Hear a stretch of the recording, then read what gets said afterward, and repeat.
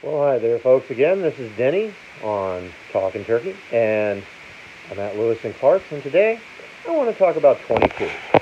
There are a lot of different 22 pistols and revolvers. Um, a lot of talk going on that people need to have 380, 9 millimeter, 40, 45 for home protection or for personal defense you know, they say this doesn't have stopping power, this won't stop someone from attacking you. But when I was a kid, I remember someone breaking into my house, and I was just a little boy, probably about five years old, but I remember hearing some thunder. And I woke up, ran into my mom and dad's room, and said, Mom, what was that noise? Dad, what was that noise? Oh, that was just thunder. But then I seen a man running down the street screaming his head off, Save me, save me, save me. And he was using the Lord's name quite a bit. But one thing that I found out many years later is that my dad had a little bitty 22 short that he brought back from uh, Germany when he was recovering from the Korean War. Let me straighten this out a little bit, make it look nicer. And he ended up shooting the man in the buttocks. Well, it was just a 22 short. And the man was a big man. He turned tail and run. Now, that helps me just with the argument, not with FBI stats or anything like that. That just helps me with the argument saying 22 will stop you. Now, that was a little bitty revolver and one shot that made that man run down the street. Nobody wants to get shot. But if someone's breaking into your house, is 22 going to stop them? Yeah. I mean, if they're on PCP or something like that, even a 9 millimeter or a 40 or a 45, I've seen police officers shoot people five, six times and the guy keeps coming. But they're in a highly stressful situation. They're not getting center mass shots because I'm serious. You shoot somebody in the heart, several times, it stops beating. I don't care how many drugs they're on. They're going to leak out and bleed out. But a 22, these are known to fragment. So if you have high velocity in either one of these pistols, they fragment.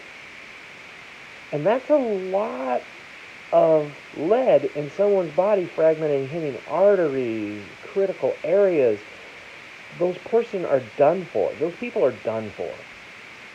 I mean, they have a better chance of surviving being shot with a 9 millimeter or with a 45 or a 40.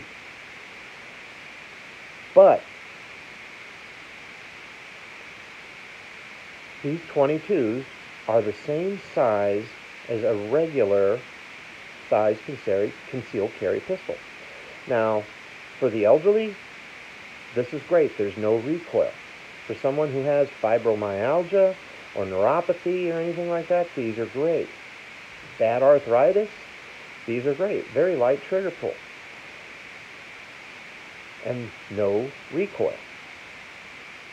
I mean, my, my daughter, when she was seven years old, yes, seven years old, she was shooting a revolver, 22 long, no recoil whatsoever. I've sold many 22s to a lot of people. And they can shoot them more accurately because of there being no recoil. These two are a straight blowback action, so there's even less recoil if there was a recoil. This Walther, excellent firearm, has no recoil.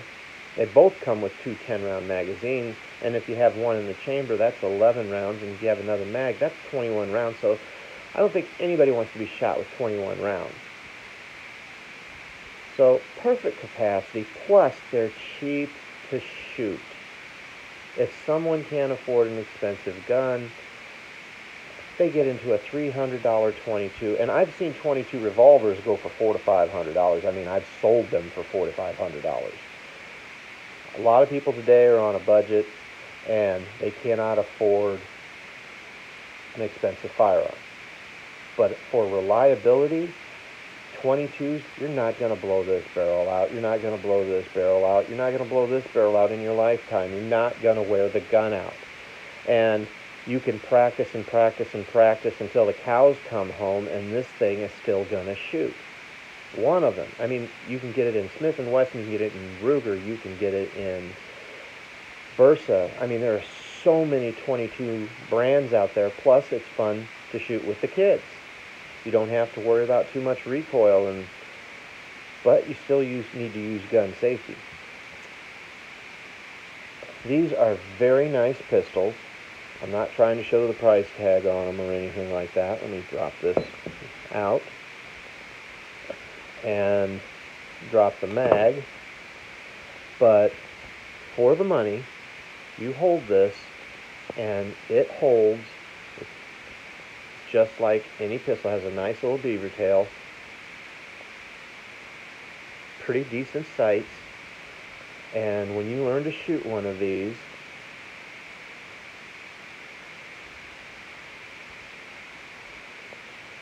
they will keep you safe. Now I rattle on a lot, and I call this show Talking Turkey because I like to talk about just about anything and everything. And people say that having a gun in the house is not safe because what if a burglar gets a hold of it? You have it by your bed when you're sleeping at night. You have it in a little lock box. You have it in a big safe. And then when you're carrying on it, you have a nice holster. Get your concealed carry class,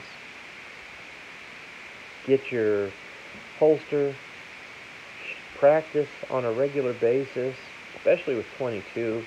It's not a difficult round to shoot at all. Have fun and feel safe. Forget about what all the liberals are saying about guns, wanting to take the guns away.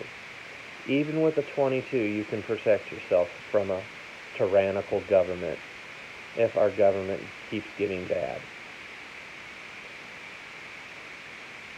You don't want them taking your guns.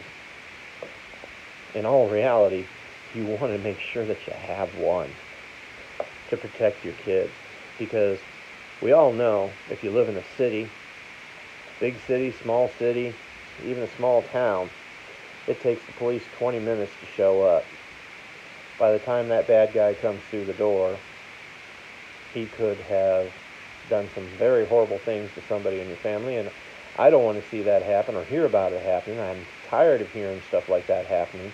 But when I hear somebody has a firearm and a woman who has three children, single mother, and she defended them and held a burglar or an intruder in their house at bay until the police come there because she was pointing a firearm at him.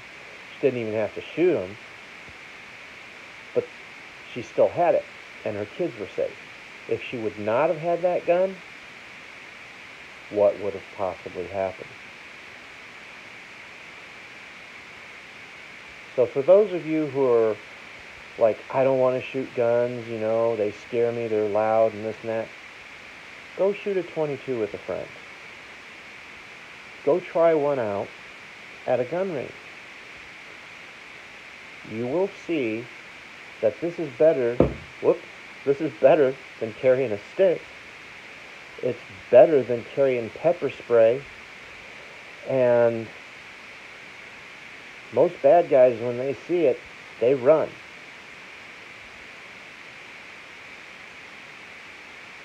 If you want to answer me back and you would like to discuss something on Turkey Talk, please message me and subscribe. I'm pretty new at this, but I've been selling firearms for a long time. I've been shooting for a long time, my whole entire life. I'm 50 years old. I'm not an elegant speaker. I'm a regular average Joe. So if there's something you want to know, or something you want me to bring up, or you want me something to have something that you want me to discuss and inform me on something, please subscribe. This is Denny signing off with Turkey Talk, and I'll see you in my next video. Bye-bye.